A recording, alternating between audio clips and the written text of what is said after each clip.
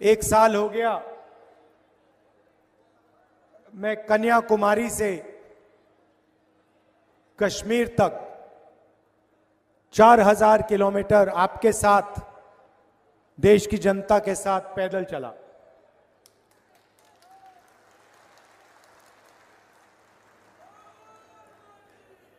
बारिश में, गर्मी में, बर्फ़ में हज़ारों लोग एक साथ भारत जोड़ो यात्रा में चले। बहुत सारे लोगों से बातचीत हुई। लाखों युवाओं से मिला। किसानों से मिला, मजदूरों से मिला, छोटे व्यापारियों से मिला। और जब भी मैं किसी युवा से मिलता था मैं उससे दो, सवाल पूछता था। क्या पढ़े हो?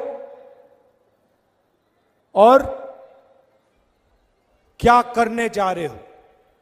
या क्या कर रहे हो? जवाब मिलता था इंजीनियरिंग कर रहा हूँ। इंजीनियरिंग पढ़ी डॉक्टरी पढ़ी कोर्ट में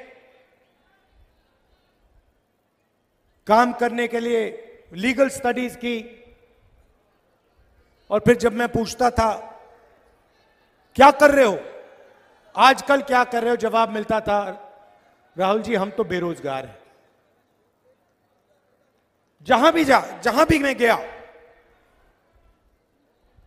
जहाँ भी बीजेपी की सरकार थी सारे के सारे युवा,